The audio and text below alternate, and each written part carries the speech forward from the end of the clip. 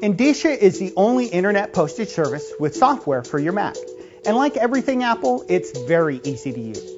After you download the Endicia for Mac software, you can start printing your own USPS postage in just a few minutes. First, choose the type of label and printer you want to use. You can use a variety of different Dymo brand labels for your Dymo label writer, 4x6 labels for your Zebra thermal printer, or you can use half sheet labels in your standard laser or inkjet printer. Now, create a return address. By default, it has the address you used when you signed up for Endicia. If you want to have a different return address, simply use the pull-down menu next to From and select Add New Address.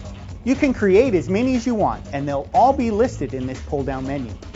Next, add the address you want to ship to. You can type it in the To box or just paste it in. There are other ways of adding addresses, but these are the simplest. Right now, I'm just going to use copy and paste.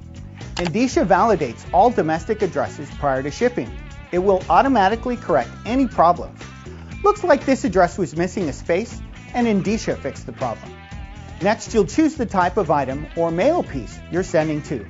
I'll be sending a package today. Endicia allows you to use every mailing class offered by the USPS. Because this is a light package, you can use first class mail parcel. You can enter the weight this time or you could just as easily use an integrated scale by clicking on the Weigh button. You can now print your label. Choose Prepare Label for Printing to see an image of what it will look like. If this is your first time printing a label, you really should do a test print just to make sure everything's running smoothly. Everything looks okay to me, so let's print this label. Presto!